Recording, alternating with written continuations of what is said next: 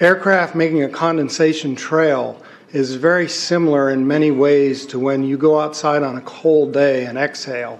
You create a condensation trail. That little cloud is a condensation trail. Now, if you take a two mile walk on a cold day and you can turn around and you can see your condensation trail tracking all the way back for two miles. That's how crazy it is to think that what we're looking in the sky is actually condensation trails. The contrails, not the chemical, the contrails occur because of cold air, minus 30. It takes a high altitude, around 30,000 feet plus. There's a carbon dioxide and water vapor in that exhaust. That turns to ice crystals, and that's what you see the white stream behind it. Those white crystals of ice warm up, dissolve, and the smoke goes away. And it never lasts more than a minute. What we're seeing now, and I first could not believe it, and I started looking at the skies, and these are not normal. They're not natural. There's something going on. I don't know who it is or why they're doing it. All I can testify is it's not natural and it's not normal. It's got to be some outside influence doing that. Thank you. I'm here to give you testimony that chemtrails, they're not contrails, are indeed real. They're spraying almost every day. I watch the clouds and watch the spraying program going on. I want to tell you that we're in very great danger uh, from the pollution that's coming down over us. And we've been led astray by the military industrial complex, and they're responsible for the cloud's creation and weather manipulation programs. They're dark operations. That's why they're not out in the media. I look around and I see people are starting to look up and see this. Many times I've spoken about chemtrails, and I get this blank look on my face. What are you talking about? I'm saying, look up. As a pilot, before I fly, I look up. And so, boy, they're really out there working. When you look up at the sun and you see a white haze, that is aluminum floating in the air right now, and it's coming from the aircraft. There's a huge amount of uh, aluminum being found because these sprays have aluminum, strontium, barium, manganese. And uh, there's a lot of argument that aluminum is very common to be found, but aluminum is only common in a bonded form. It's not common in a free form, and we're finding high rates of free aluminum uh, in the soil, which is not natural. The metal compounds that are being used are environmentally dangerous. We need to be monitoring them, we need to be testing them. Okay, these previous guys, I've watched exactly what they do, and yes, they are correct. I've seen exactly the same stuff, so ditto marks on those. You want some figures? Okay, latest water test, tested the rain. 13,100 micrograms per liter of aluminum in the rain in 2013. Normally, it should be zero. So 13,100 is pretty damn much, folks. It used to be zero, then it was 100s in the 2000s, and then in uh, since 2010, it's into the 1,000s and the latest 13,100. In the snow on Mount Shasta, pristine Mount Shasta, 61,000 micrograms per liter, four times the amount that is found in the soil up there. Where in the hell is this stuff coming from if it's not coming from the soil? We have clouds in the sky we've never seen before. Almost every day, I'm seeing clouds I've never seen before. And NASA has been even named a few of these new clouds.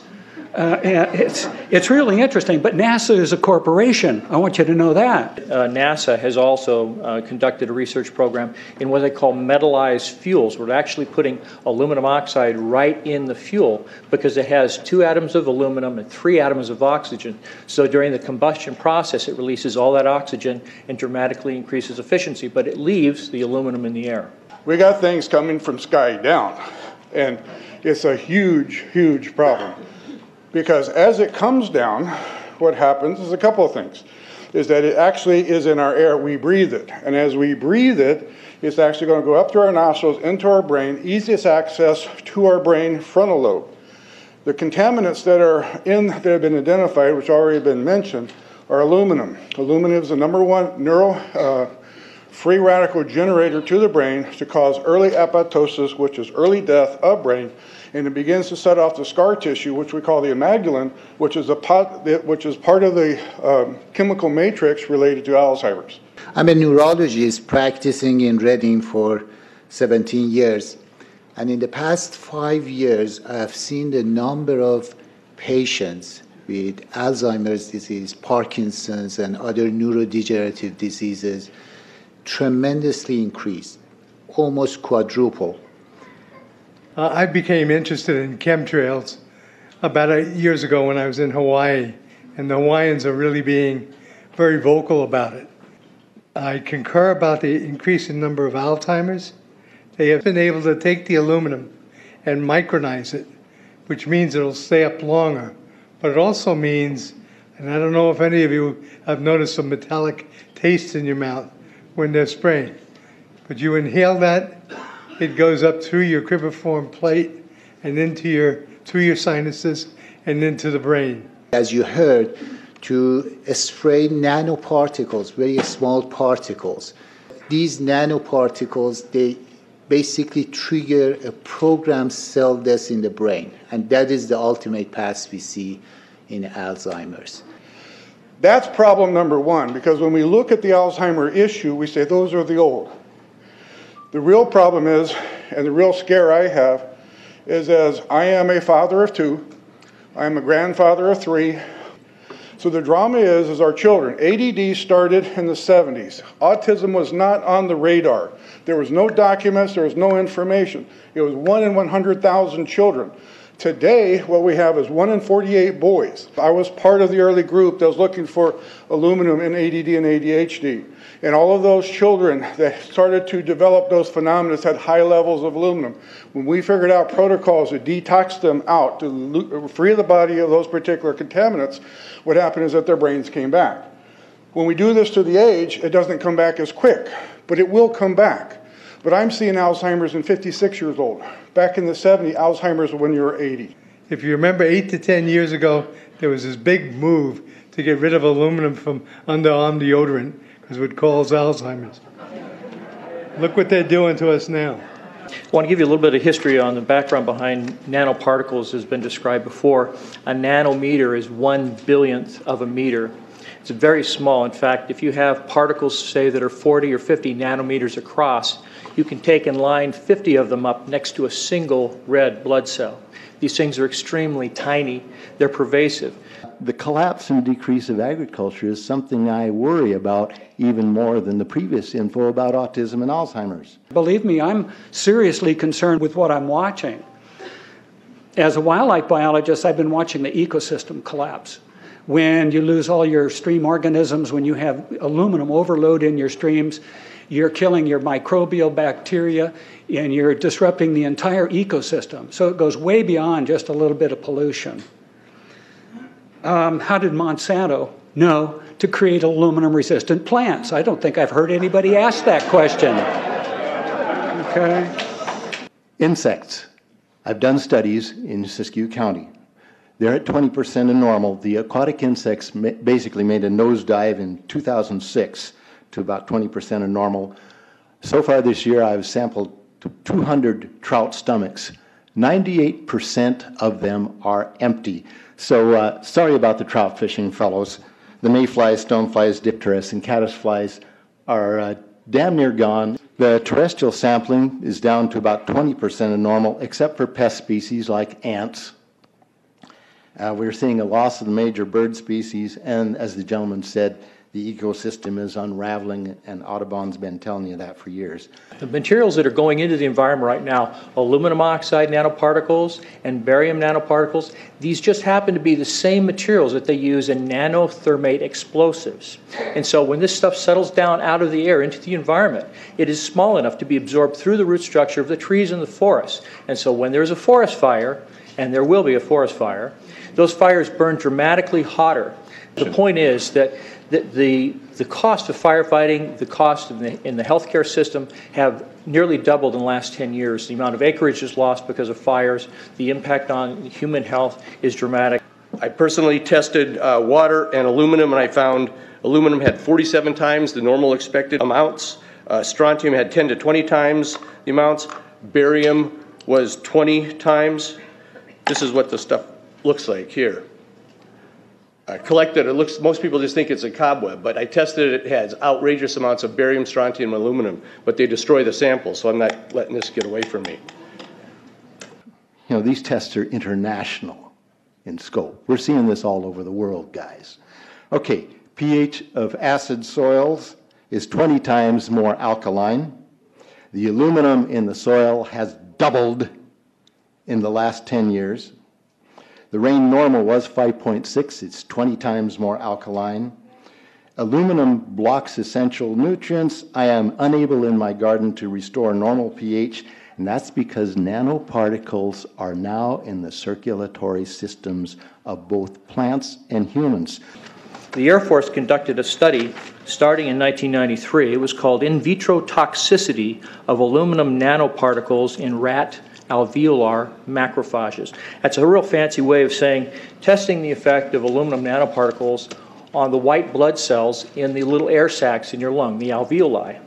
And what they found in this eight year study was that these particles, when you're exposed to long enough, it suppresses the ability of your white blood cells to defend you from airborne infections coming into your lungs. So it suppresses your immune system. But they also found that these same particles, once they get into your system, they can actually go through the barrier in each one of the cells. They get inside the cells, and these particles can actually suppress the ability of mitochondria which are in the cells that help to gobble up toxins and things that would be harmful to the nucleus and the, the reproduction process of the cells in your body. These processes are suppressed, and so essentially by breathing this material in, your immune system is dramatically suppressed. I wrote to the federal government because Air Force wrote a book, and on the first page of the book, they said, We're going to control the weather by the year 2025. I asked them, What are they doing spraying this, these chemicals on the public? I said, There's violation of United States Code 50 USC 1520, which prohibits the American government from experimenting on the U.S. citizens with chemical agents.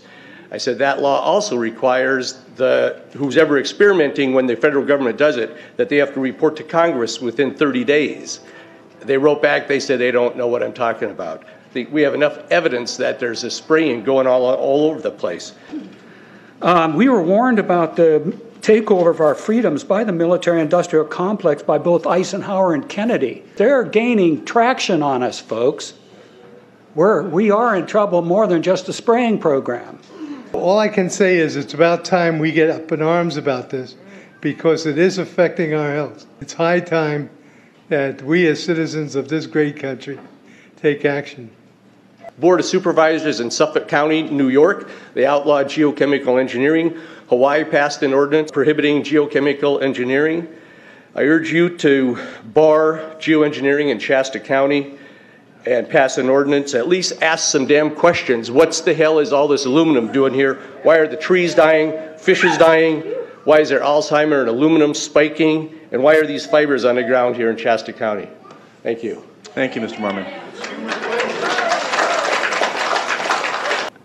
Today, the Shasta County Board of Supervisors has been the beneficiary of some sincere, passionate, and knowledgeable comments.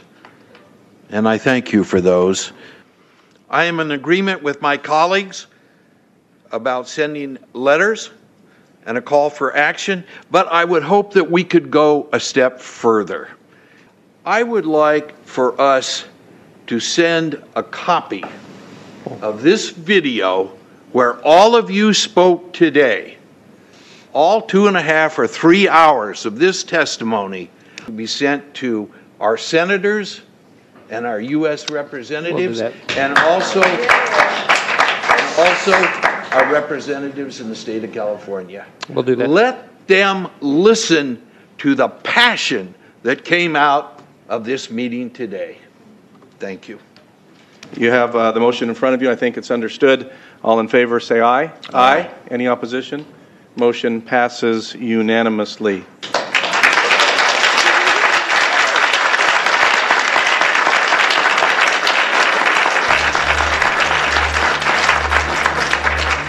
It wouldn't surprise me at all if the response is one that exceeds far the boundaries of Shasta County in terms of the platform that is offered, as evidenced by those who attended today from around the world. That's very impressive.